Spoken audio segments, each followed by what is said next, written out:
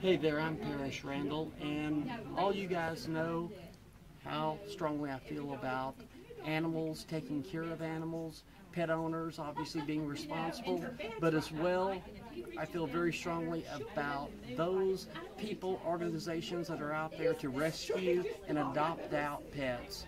And I'm speaking with an author, Anna Kantor, who feels as strongly as I do about, again, taking care of her little four-legged friends because it has been my experience the four-legged friends are the best ones we have. So Anna, tell me about the book you wrote and uh, what you do. Um, I'm a, I teach literature at Navarro College, Uh-huh. and um, I've been there for about 20 years. And so my love of literature, and I've always loved animals, especially dogs. And we have several rescue pets ourselves.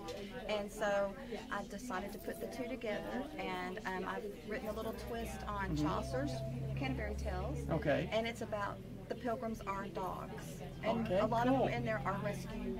They're our dogs, little Yeah, pictures of them. yeah, yeah. Well, I saw the bus out front, and uh, so could you tell me a bit about What I'm wanting to do is um, my this is my book launch, and I'm coupled with Limestone County's Animal Rescue, and they are giving us um, they brought the bus with dogs to pet to adopt because I want to bring awareness for people to adopt animals, and so we're also taking donations today for for us dog food or money to give to the to the animal shelter, and I want people to realize that adopted pets are make the best pets, the rescue animals. They really do. And Anna, is there a website that people can go to, or any, any, any?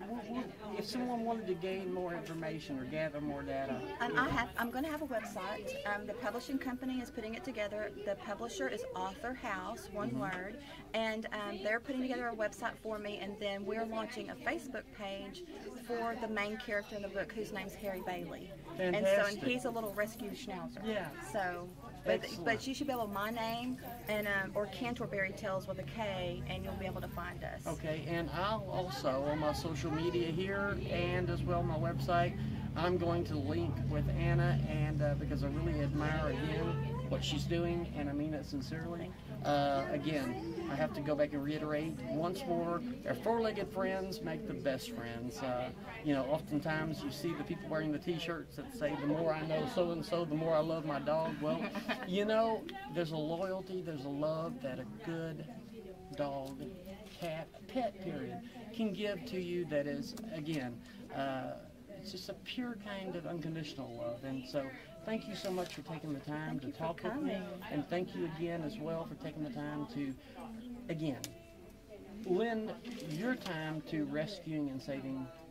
Again, those little furry friends that we love to cuddle with every night and day, and I hope it does. I hope it brings awareness to, that's the rescue. go. All right. Yes. Well, we're in Mexia, Texas, by the way, Limestone County, my home county. I'm back here for the holidays, and this was just a really pleasant surprise to bump into a fellow pet lover who's actually taking an active stand and moving forward, and, and, and again, making the moves to make it a better place for the animals. So, Merry Christmas to all, and Merry Christmas to all the little furry friends out there.